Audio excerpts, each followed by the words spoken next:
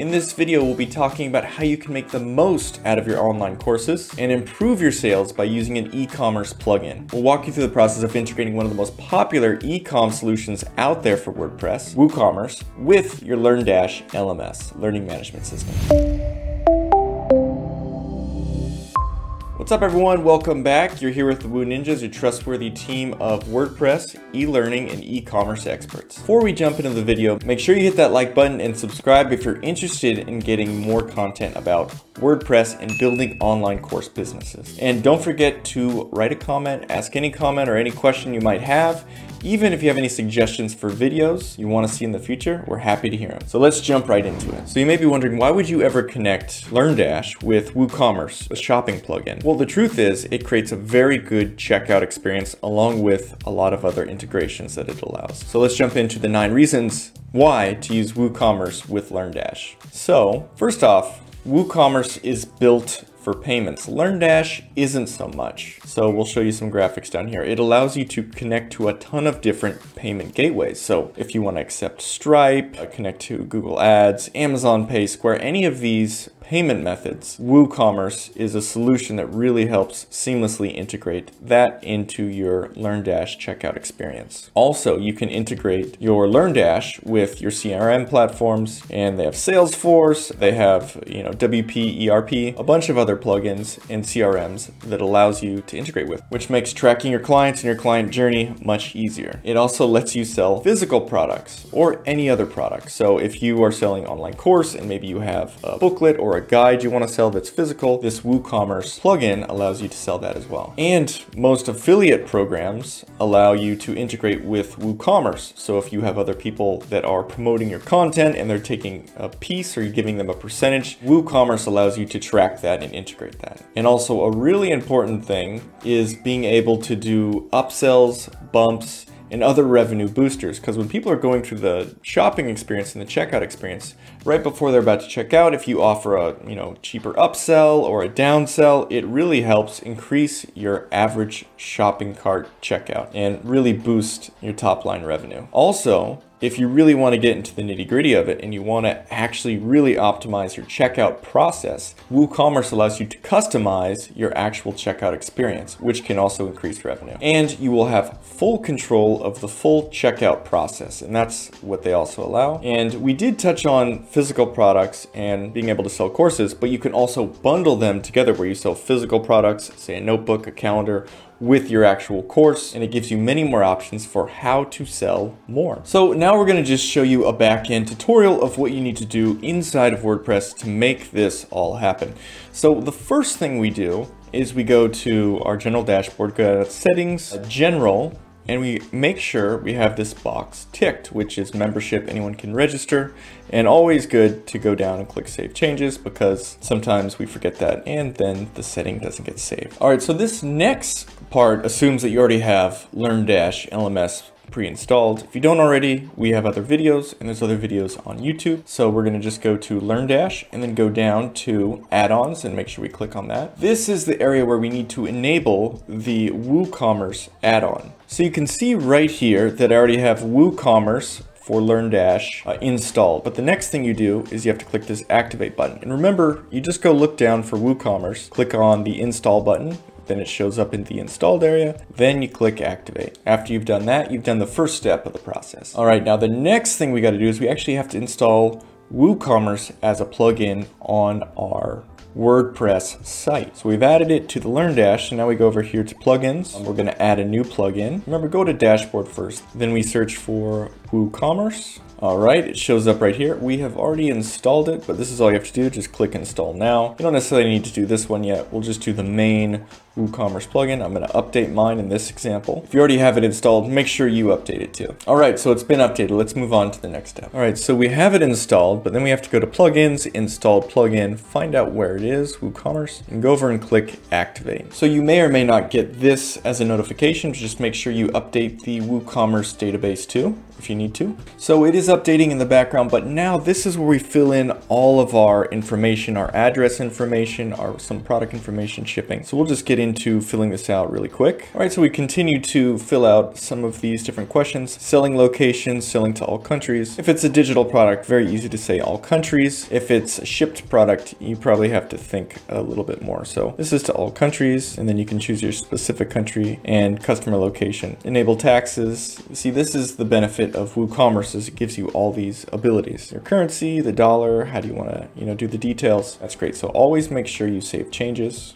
And you can go all the way across here to fill out all the different info you need for setting up your uh, WooCommerce. Also, you can click on WooCommerce in general right here, and it gives you a really crisp interface of how far you've gone along the process, what you need to do, what you've completed. So for this case, you can view your options. Okay, we've added some store details, we've added some products, now we get to set up payments. So this is also a crisp way of going through a very uh, similar process. So We'll go to click set up payments. Thank you. So before we jump into payments, I did want to mention if this ever gets too complicated for you or you get stuck somewhere, we're always here to help. We help with WooCommerce and LearnDash specifically. We're WooNinjas. Check a link in the description. We can help you set it up from idea to actually implementation, or if you just need a little help uh, on a couple fixes, we can do that too. So check the link in the description. Uh, back to here, so we're in payments right now. and We're gonna get started. This is where you can accept all these amazing forms of payment. Visa, MasterCard, Amex, Apple Pay, Google Pay, and some ones that I don't know. Even uh, some different Chinese forms of payments, Diners Club, and a bunch of others. Just let this install the payments gateway. All right, now we're gonna configure our WooCommerce payment account. Okay, so now we're in the WooCommerce payments wizard to set everything up. So this is the first step. You add your email, click continue. Um, you would then log into your WordPress account. So if you don't already have an account, make sure to click create a new account down here and just fill out the info. So we just click create our account, uh, let that load, and it's gonna take us right into the wizard right now. All right, we just start going through the process, throw in a phone number. Now, after you click continue, uh, you're gonna actually get a text verification. So this is where you fill out all the information to sign up for your Stripe integration with WooCommerce payments. So I'm not gonna take you through this whole thing. It's pretty self-explanatory. It's kind of private details, but you just go through the process, individual, choose your country, you just keep going through, and then you get to a place where you actually get approval with uh, WooCommerce payments. Okay, so since we just kind of sped through that last one of actually setting up Stripe in this example, we set up the WooCommerce payment, so that is now checked off. And we're gonna add tax rates. So you can choose whichever one is more suitable for you. I'd look into both. For this example, I'm gonna do this. There was also an option at the bottom to set it up manually, which gets a little bit more difficult. But sometimes using the uh, Jetpack integration makes this a lot easier. Or you can just simply go, I don't charge sales tax. But make sure you don't before you click that. All right, so now we're off to the next section, which is get more sales. Don't we all want that?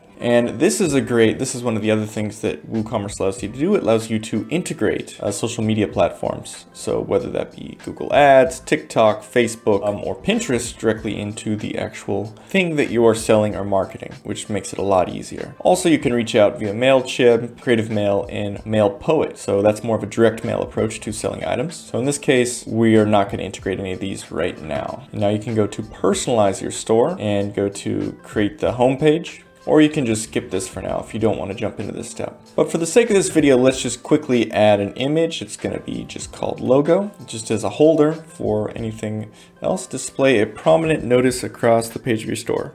We'll just say something like Welcome, please buy now. So just a placeholder, just to show you as an example. All right, so we've checked most of these boxes off, which is great. Also, as we scroll down our inbox, we're gonna look at uh, sell worldwide in multiple currencies. So we're gonna click on this. Maybe you're just US based or Canadian based and you just sell to that market. But if you're going for the globe, it would be helpful to set up currency options for your biggest potential buyers. Maybe it's the UK pound, maybe it's the euro, maybe it's the US dollar, and have these all integrated. And they actually already pre pretty much the biggest buyers in the e-commerce space, which is euro, Japanese yen, British pound, Australian dollar, Canadian dollar, Indian rupee. You can even add more obscure currencies down here. We go down to add the currencies. And this is also nice. It automatically switches to the local customer's currency.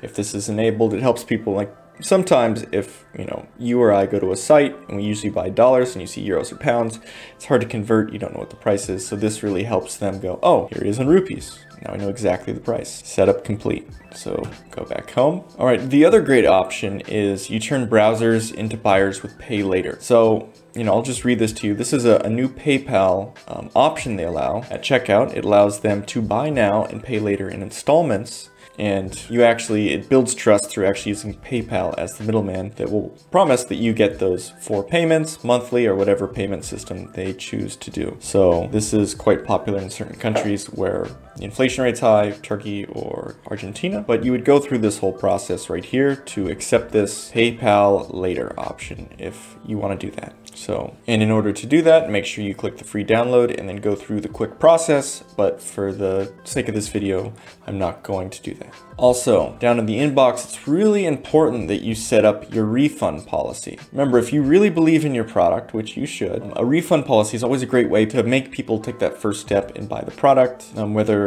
you want to have a certain time period or unlimited refund policy, it's really important that you would integrate the refund policy. So this is how you actually inform your customers about the refund. It's not as integrated as you may think. It's always important to actually put it in the item listing. So they give you two options. They say adding the policy listing in the menu in your store, obviously, or adding it to the confirmation email where they get the product and then that is the warranty. And if you need a little bit of inspiration for like what would a warranty be, they do recommend looking at their policy and they do a 30 day money back. So if you want 15, 5, 7, 40, whatever day policy is comfortable for you, this is a good template to start off and change the days accordingly. And then you would then process those refunds manually if they ever came back. So Continuing to go down on the inbox, all the settings that it's really good to check on before you finish this process is save time on shipping. And pretty much what this is, is if you have a physical product, this is a drop shipping offer. So automate my shipping means uh, you would give your products to them as one of their partners as a fulfillment provider. And you could see if that is something you wanted to do if you had a physical product. So jump into this if this is something that does uh, interest you. And they also have different shipping methods. They integrate with USPS, UPS, FedEx, all the big guys. Also, we need to do another setting. Uh, so we go to WooCommerce settings, go to accounts and privacy. Uh, make sure that you allow the customers to log into an existing account during checkout. And we'll just check all these boxes. Boop and it allows them to use an account for checkout and just make sure you go to the bottom and click save because it does not automatically save. So now I'm in uh, settings over to payments and this is where we already kind of set up to the wizard but if you ever had an issue with the wizard setup you can actually go back here and choose if you want to enable uh, WooCommerce payments but for this case we're going to do just credit card and debit card. This is the fee Yes, it's 3% plus 30 cents. And uh, also we have uh, Google Pay and Apple Pay quick checkout enabled. Uh, you can even link your Stripe right here. And uh, yeah, that's about it. And just make sure you save changes. Okay, so now we are in the actual course, how to run Facebook ads, going down to settings. Then we go over to closed. Uh, so the course price we had listed was $7 and then the course uh, URL button was that link we copied from the last one. Just make sure there's not a space in the beginning, which there is. Delete that and then we're going to go ahead and update. So this is what you have to do to kind of connect LearnDash over to the WooCommerce. Okay, so right now we are in um, the product page and what we can see is, this is the really nice interface that gives you in stock, price, all these things. Uh, what we do see is we do not have a cover image uh, to actually show our product. So it's always very helpful to have that. So just go to edit and this is where you do it. You set the product image. We do have, um, you can put an image down here for the description, but sometimes it helps to have it in both places. So we're going to set the product image. Click on that. Here is our product image. We're going to set that as the image. Might not be the best aspect ratio because it could be square by default, but that'll be good for now. We're to go ahead and update. Perfect. Now, if we go back to our products, you'll be able to see it. Perfect, there it is. So let's click on that and you'll be able to see the hyperlink that actually links you to the product page right here, right there. So we're gonna go ahead and click on that. See, doesn't look nice? Facebook ads course.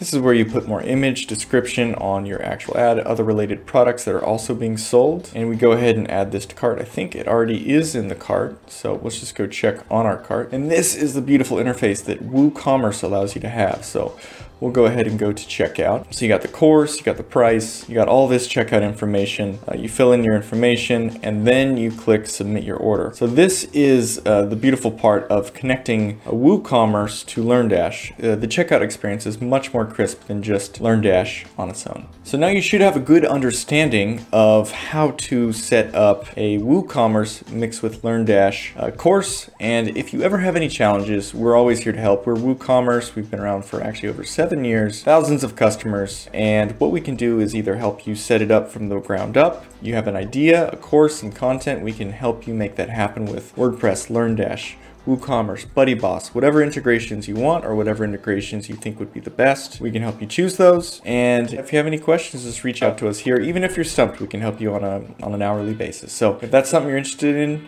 great. Look forward to speaking with you. Uh, if not, uh, please like and subscribe to our channel. We're making a lot of content on WordPress, e-commerce, and LearnDash. So we're your experts here to help and see you guys in the next video.